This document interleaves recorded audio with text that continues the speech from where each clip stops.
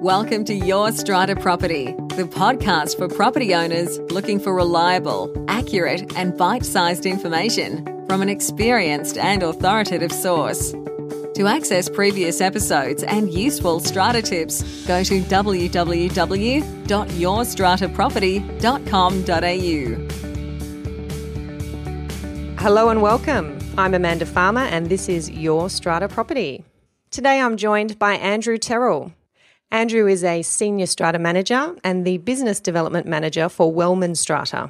Andrew began his career as a financial auditor and has since accumulated over eight years of experience in the most reputable strata companies in New South Wales.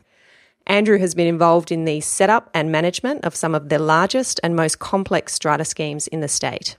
With an eye for detail, he has a deep understanding of the multifaceted structures that exist in strata management, with a focus on the people within these communities.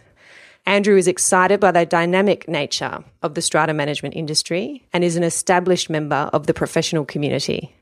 He has dreams for strata managers to improve their knowledge through tertiary qualifications, resulting in better service standards for strata owners. Today, I'm delighted to welcome Andrew Terrell from Wellman Strata. Hello, Andrew. Amanda, thank you for having me involved. Yeah, the bio sounds a lot more wanky. having, when it's having read out loud. read it after uh, me reading through it more than a few times and writing in the first place. But um, thank you for the introduction. Um, so look, thanks for getting me involved. Strata education's a big one for me and it's a passion and I love a good podcast. So this is possibly the perfect medium. Um, Great. your strata property. So hopefully impart some of that knowledge. Definitely. Well, it's lovely to have you. And today we're talking about how strata communities can do a better job of budgeting and setting reasonable and appropriate levies. So, I want to start by asking you to tell us why you think, Andrew, a good understanding of budgets and levies is so important for those living in strata communities. More and more people these days are now obviously living and owning in strata and community title properties, less so community title, but definitely strata. It's integral for them to have an understanding of what it is to properly fund their building. And I think many people in the past have, have not had that understanding and that could be from one of a number of reasons. Um, a lack of education, a lack of sort of information from the wider community, fair trading, etc. Receiving and paying strata levies on time is one thing. Having an active eye on where your money is going is equally as important. Sort of, as should be ensuring the owner's corporation's meeting its maintenance obligations and also going to improve the building rather than just maintain what's there. So buying at a strata is arguably more complex than Torrens title, as you probably agree. Mm. However, the nature of the strata governance means that complacency can easily take over. So hopefully that's something you uh, also agree with. Yeah.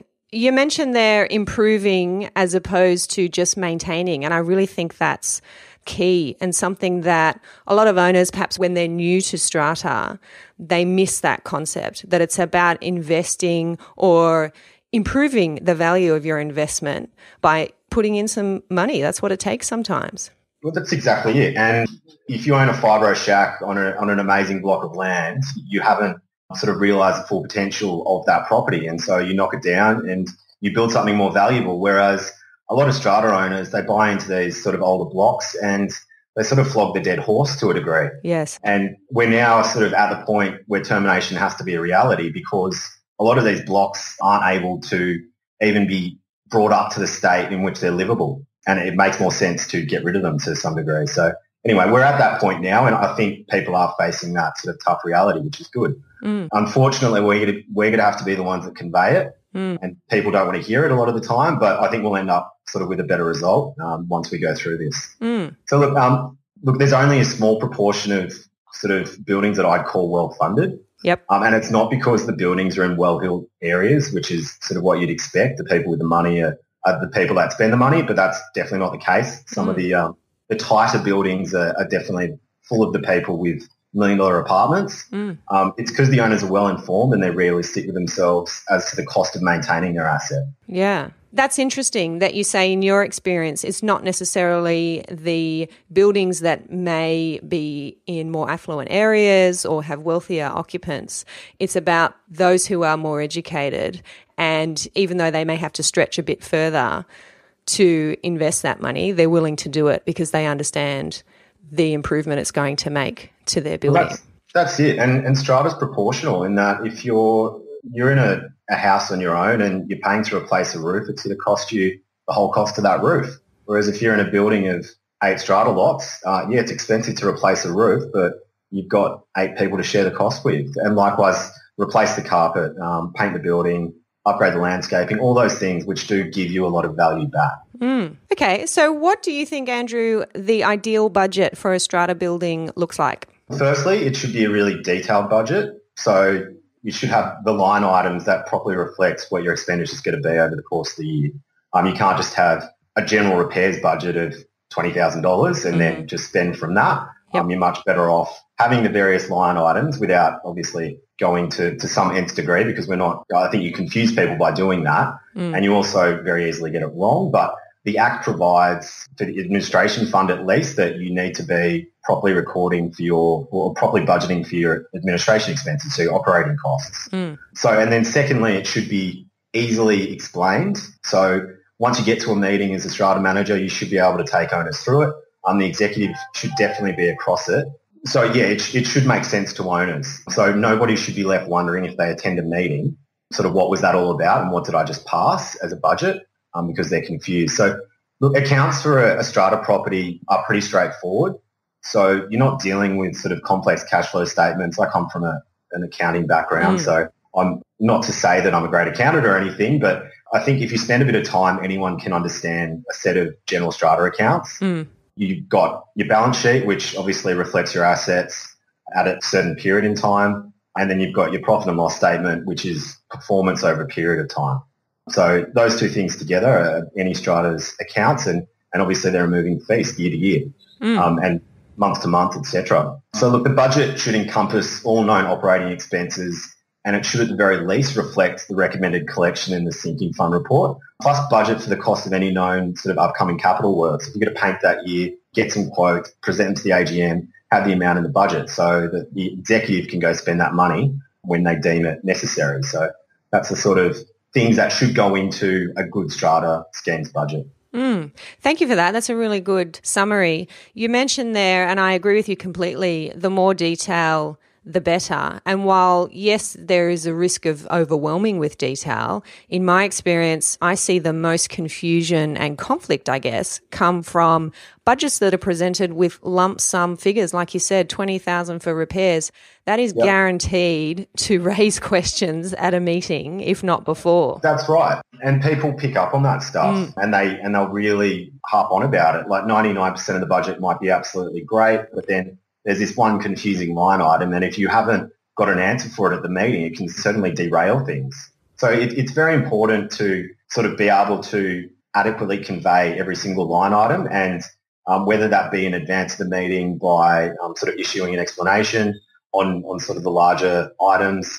And some strata companies do it better than others, but definitely at the meeting for, for anyone there, you should be able to, to answer each and every question they've got. And obviously it's, it's not hard to put together a budget. It's your, your known costs over the, the course of the previous year escalated for obviously CPI and whatever increases otherwise. Mm. Um, it's, and then known other costs that you're going to encompass that year. You've got some fire repairs to do, you've got some painting to do, etc. So if anyone tells me that it's hard to do a, a strata budget well, um, they're just not spending the time to do it properly. Yeah. And I, I find the other line item that tends to get a lot of discussion and is very important for a committee or a chairperson who's explaining the budget to understand is legal fees.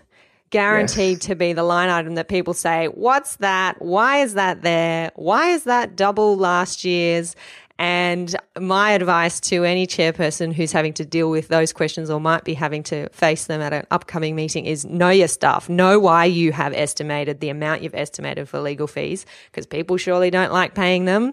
But it's also something that hurts if it comes up unexpectedly within the next year and it hasn't been budgeted for. Yeah, look, and that's that's exactly right. Certain buildings should I think the majority of buildings should have some budget for legal fees because that's what allows you to go redraft your bylaws. That's what allows you to um, deal with a dispute if, if one arises. And certain buildings, you know, are very litigious, unnecessarily so in some cases, necessarily so in others. So look, legal fees is, is definitely one of those line items and, and people often see it sort of as a, why do we need to spend money on lawyers? But that's because you're in such a complex environment and you need to get that advice. And the strata manager can give you a lot of advice, but then there is times debt collection is obviously case in point Mm. where you need to refer stuff to a solicitor. And often that legal fees budget will be a sort of a net nil amount and Mm. people will still jump on it because there's a recovery that's going to come from your debt collection matters. So Mm. anyway, legal fees, yeah, I'm sure close to your heart, Indeed. Um, close to your wallet as well. So no, but it's very important. And, and as sort of development gets so complex, um, it's only going to become a bigger bigger item. But yeah, I definitely build legal fees into all the all the bigger budgets that I would do. Yeah, good Yeah. idea. Okay, Andrew, could you share a story with us around how your knowledge and your skills in this area has helped a building? Yeah, sure. Look, I won't be specific because Mhm. I haven't asked any buildings if I can mention them. Yep. But look, I've, I've long been an advocate for energy efficiency over probably the last four or five years, especially since the um, energy saving scheme has come out, which is not run by the government, but it's funded by effectively everyone's energy bills. Yep. Um, so they've, I don't know if you know much about it, but they've effectively put together this fund which people can draw from in the event that they're undertaking energy efficiency projects. And that can be commercial, it can be strata, it can be residential, etc. So look, with the help of some key sort of people in the industry and companies, um, I'll mention Ethan Burns at Sustainability Now. He's been great. Um, Mhm. we've helped owners corporations save a lot of money through efficiency. That could be lighting works, it could be provisioning such as new electricity contracts, addressing water use. There's so much wastage at strata schemes because you've got that one lot meter in, Yes. in most cases. And unfortunately, people will not fix leaking toilets, etc. So Mm. you've got so much wastage on a, a year-by-year basis. Mm. Ventilation upgrades are also a big one, like car park fans. Um, you put those on a, a VSD and that, they won't be running all the time. And the, the savings these things generate are, are actually astronomical. So in some cases, we've managed to cut electricity and water costs by up to about 50%, um, which on a large building, you're looking at, I'll use one example, a building in um, Wolli Creek, we saved, I think it was $100,000 Amazing. just and, and that's and that's operating costs. So and that that's probably I think their their electricity budget was probably eighteen to twenty percent of their total cost. So if you think about taking ten percent off your admin costs, Mm. Where do you, where can you do that otherwise? I don't think you can. Mm. So it's it's definitely the best bang for your buck stuff that I can recommend. Um, and if we take over a building and they haven't done this sort of stuff, I, I wonder why in the first instance. And then we obviously take them through the process and set some awesome results. Mm. And that process, is that about sitting down with the figures, looking at the invoices that have come in over the last year, and you highlighting areas where you think there can be saving? Yeah. What I was going to add to that is it does take some experience to to breed into the accounts. Yep. And like a good strata manager will be able to pick up an existing set of accounts, know the size of the building, the area the building's in, etc. So the level of service it needs and what is it actually paying for? Mm. Like, is it getting overkill in terms of its cleaning hours, for example? Mm. Another key one is probably lift contracts. Mm. Um, people sit on these very old lift contracts, which are sort of grandfathered for decades at a time, and they're literally 50% more expensive than if they, they could go to market. And it, wow. it does take a good strata manager to sort of pick that stuff up initially and really do something with it. Mm, great. It's good to know that you guys are out there and that you're you're focused on these things and you're achieving those kinds of results for buildings. Yeah, well, that's it. There's a, it's very easy to be complacent as a strata manager and think that you're doing your job by simply managing the scheme. And I, I separate myself um, from the term strata management because really we, we are advisors to such an Mm. extent and we should be because that's the only way that you show value. Mm. So strata management to me, it's all about skill, care and diligence. And Mm. if your strata manager is not showing all of those traits, you should probably be worried. And obviously we come from very different places because there's no defined tertiary path Mm. other than a very easy license. But a good strata manager has that relevant experience, has managed sort of the whole range of buildings and will be able to do all those things, take you through a set of accounts, give you their understanding and obviously try and save you some money. Yep, great. I like it. Okay, what are some of the challenges that you've noticed buildings face when it comes to establishing a realistic budget and calculating appropriate levies? And what do you think has worked best in terms of overcoming those challenges? Yeah, look, this is a one of the, the hardest things to sort of deal with because you've got a lot of buildings where people are acutely aware that they've set unrealistic budgets Mm. and will nonetheless continue to do so because the Act doesn't prohibit you from doing so Mm. in that you can keep spending from your sinking fund in your admin fund, run deficits, etc. And who's going to pick you up on it? Like an owner can't really take you to task at the tribunal for doing such a thing. Uh, and it's very hard to combat that mentality. Like we're not the decision makers, we're advisors, as I just said. Mm. So I guess sort of ongoing warnings around such practices is, is what we do because literally nobody benefits from that situation. Value's not being maintained within the block i.e. you're not sort of realising the rents that you should be getting, you're not realising sale prices you should be getting. Work is simply being delayed and the buildings look tired. The, um, the term I've liked to use recently is sort of selling the problems down the stream Oh uh, yes. because they will have to be dealt with by an owner's corporation in time Mm. and whether that's going to be you as an owner as a result of a legal claim or it's going to be a future owner in their own time and whether it's going to be by way of a special levy or a loan, those problems, I'm speaking very generally here because there's 101 different problems that these things could be. Yeah, they, they remain there. Like there's no getting away from them. Mm. And So look, get worse. key. Yeah, well, you are making it worse. Like you're contributing further to the issue and blowing out your costs. Mhm. And strata buildings are buildings, and as we know, building costs rise each and every year. It's very rare that they retract. So you're effectively just going to spend more money in the future. Mm. So look, education's key, um, but it's very hard to quantify the benefits of spending the money. Like there's there's more than a few case studies out there now, but every single building is different. So to convey sort of the benefits of what one building did to another is quite difficult. Mm. But my advice is a lot of people will sort of come to me for advice about to buy in a particular apartment. And, and obviously I don't want to give that advice, but what I say is, look, a building with a healthy and readily spent sinking fund that's collecting enough money in the admin fund that has great looking common areas is Mm. probably going to be a better building and better funded and functioning than the one with overgrown gardens, a broken intercom, frayed carpet Yep. and a leaking roof. Mm. So there's, there's more to be wary of when buying into strata buildings than people realise. Yep, good advice.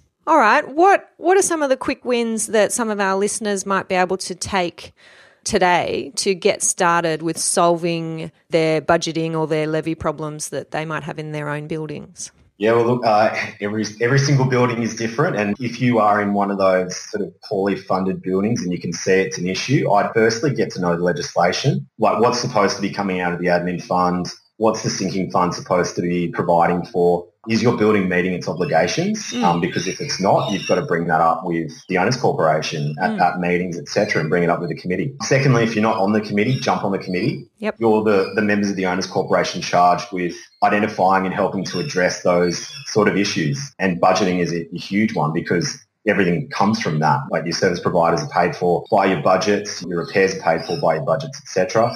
And look, where there's savings to be made, make those savings. Often it's a question of making other owners sort of come to terms with the real cost of running their building. And it's very hard when I'm on an island trying to convey that stuff. Mm. But once you've got a committee who understands that and will come with you on that and obviously give the support, other owners really do start to understand and their problems. They get used to, oh, okay, I've got to spend a bit more money this year and this is why it's being spent. Yeah, it's kind of like a culture change, isn't it?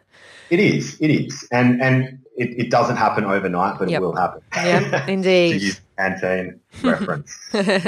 All right, Andrew, books. What books have had the greatest impact on you and why? Would you believe that it wasn't Stephen Raff's Strata Living Stories? oh, tough one. Uh, look, uh, Flat Chat. look, no, yeah. Flat, Flat Chat is, uh, is good but annoying at times because I don't think it does enough to sort of dispel issues. It creates a few. Creates a few, yeah. I'll let Jimmy know that. Please do. I'm happy to bring it up with him. Look, I'm not a huge book reader of recent, but I'm a massive fan of some podcasts. Um, Great. And that's in my spare time what I do. So Planet Money, I don't know if you listen to, to that, but that's really interesting. 600 plus episodes of it, and it's basically real life issues around money, whether that be currency, gym memberships, etc. So it's just cool. incredibly interesting. Freakonomics as well is very Yes. good. Yep. Tim Ferriss show, hmm there's no better interviewer. I don't know if you've listened to Startup, but Startup's great. Yep. And then obviously your Strata Property now. Oh, of course. Of course, they're on the list. Good for the gym or the walk to work. Podcasts are a fabulous medium, and I know you and I have talked about this. Just the ease, I find the ease of listening and what used to be dead time for us as busy professionals is suddenly packed with learning, and you're getting, you're just adding that value to your day, whether you're at the gym or you're driving the car or you're on the bus, or it's fabulous to just have 20 minutes of enlightenment. That's it. it it's pretty hard to get into reading a book sometimes, whereas it's very easy to listen to a podcast. Yep. And yeah, like my time spent in the car is now a lot more productive because I'm, I'm getting that knowledge. And a lot of this stuff is great talking points as well. Yeah. I uh, was talking to someone only last night who said that he's become so engaged in some of his podcasts that he's trying to take longer on the drive and hoping for the red lights because he wants to get to the end and say, I need to listen to more. I think you've got a problem when you get to that point, but that's okay. I'm sure he can wean himself off. Yeah, exactly. Fabulous. Okay, Andrew. So, how do our listeners find out more about you? And is there anything that you'd like to add before we say goodbye?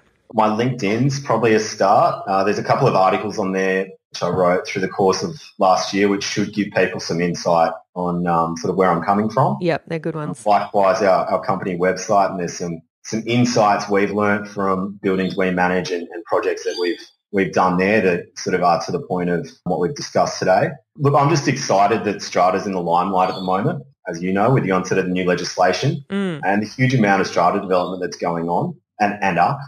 There's a lot of information and knowledge out there that there wasn't previously and people are, are really getting it now Yes. and everyone's going to benefit as a result. And look, strata's like anything. The less you know, the more chance of people who do know a bit more taking advantage of you. So Yeah. So, get educated. get educated. And um, if, if you refuse to, you, if, honestly, ignorance is not bliss, Yeah, that's especially when it comes to um, your, one of your biggest assets. So true.